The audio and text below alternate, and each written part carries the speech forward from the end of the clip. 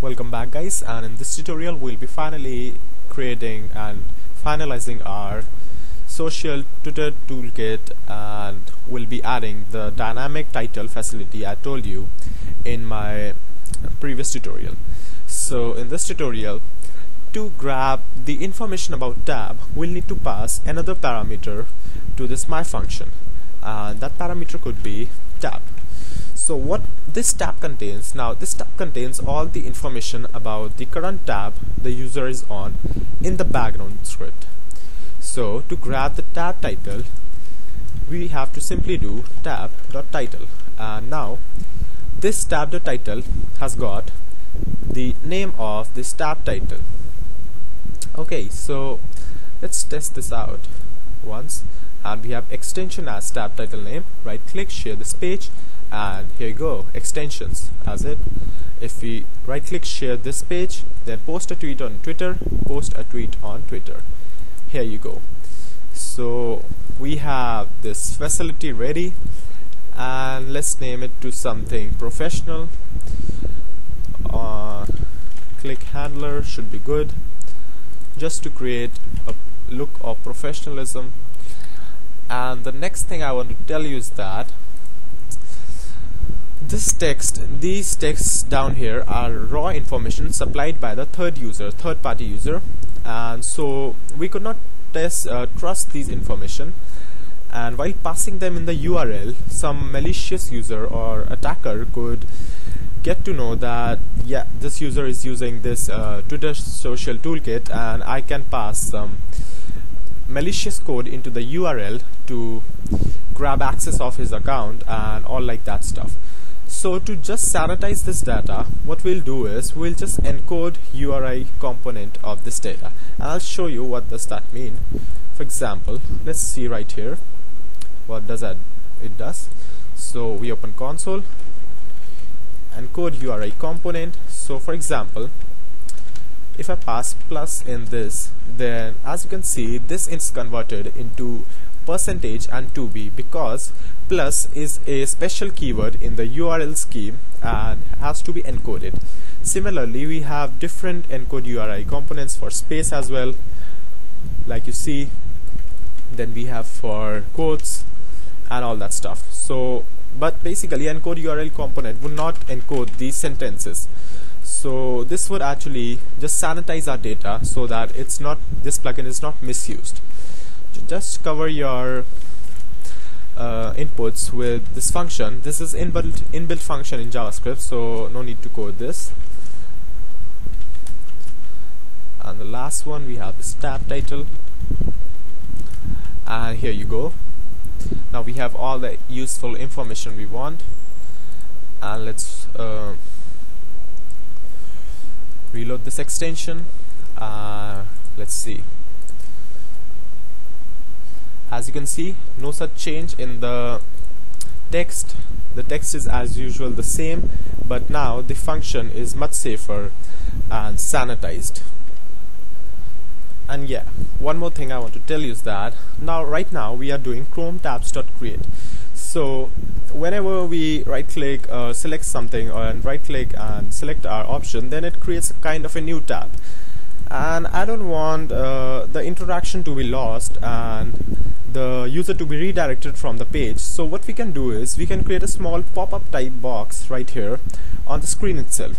And so to, to, uh, to do that we have to rename the chromes.tab to chrome.windows now what it does is a tab is as you can see with the name is a different tabs open down here but window is kind of a new window so I have renamed this to chrome.windows.create and rest of the thing is same. And let's try to run this now. Let's reload this extension. Uh, let's click on this. And this looks much better than the previous one but still I don't want this toolbar. I just want the context uh, this context uh, box. So because we don't require any toolbars or any other information down here. So what we can do is we can uh, declare a property down here with type as panel. Now panel would what would panel do is panel would remove all those unnecessary information like URL box your extensions and your other unwanted information. So let's reload this and let's see and here we go. A nice clean box with no extra information. With uh, whenever the user click on tweet the tweet gets posted and then user can close the page. So I guess we are done with our Twitter social toolkit because now whenever I visit any other any of the page on internet then what I can do is if I want to share any of the links or any of the text let's say hello world in Python. So let's say I want to share this link. I'll just go right click on this link share this link to your Twitter profile and here you go. Here's your string. Uh, what you can do else is I want to share this page. Right click share this page on your Twitter profile and the pop-up box will pop up and here you go in Google search. And one more thing we can do is to share this page. We can add the URL of this page as well to this and let's see how would you do that. Text uh, where are we? Yeah title. And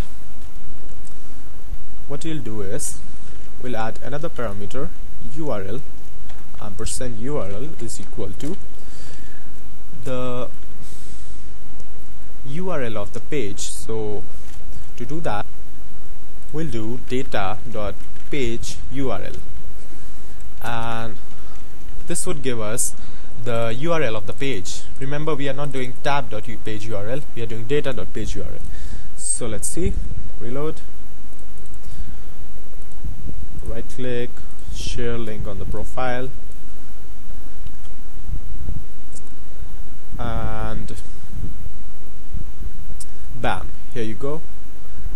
But hey where's my content now? Let's see what happened to that. Text is this and hey where's the content now? And URL is this.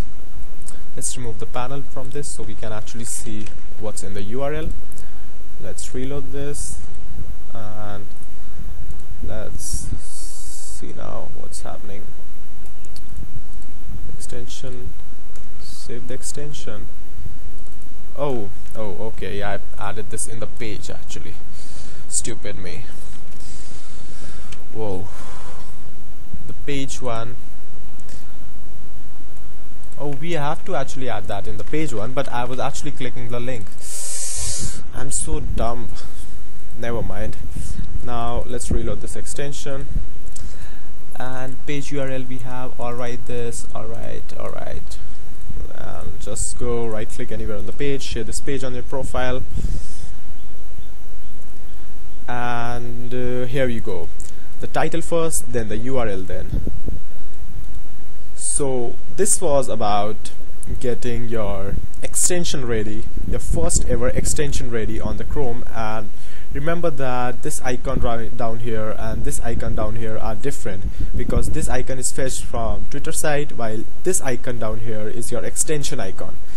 So this was a series a mini series on developing your first Google Chrome extension and as you can see we have developed this extension and maybe I will be launching this on the Chrome with my Google Chrome developer account. And stay tuned and keep watching and I'm sure you will be a pro in Google Chrome extension development soon. Thanks for watching and don't forget to subscribe.